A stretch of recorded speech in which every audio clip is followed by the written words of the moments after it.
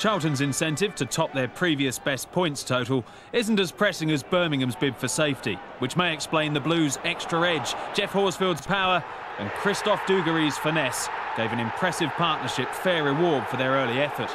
The Frenchman has two in two after waiting 11 games to get off the mark. What Charlton would give to find their form again. More danger in the second half. Robbie Savage sprinting and sprawling.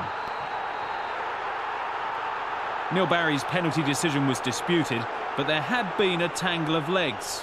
The most unpopular man at the Valley punished Chris Powell's challenge to leave Charlton without a win in six, and Birmingham closer to a second season in the Premiership, preferably with Dugarry's loan made permanent.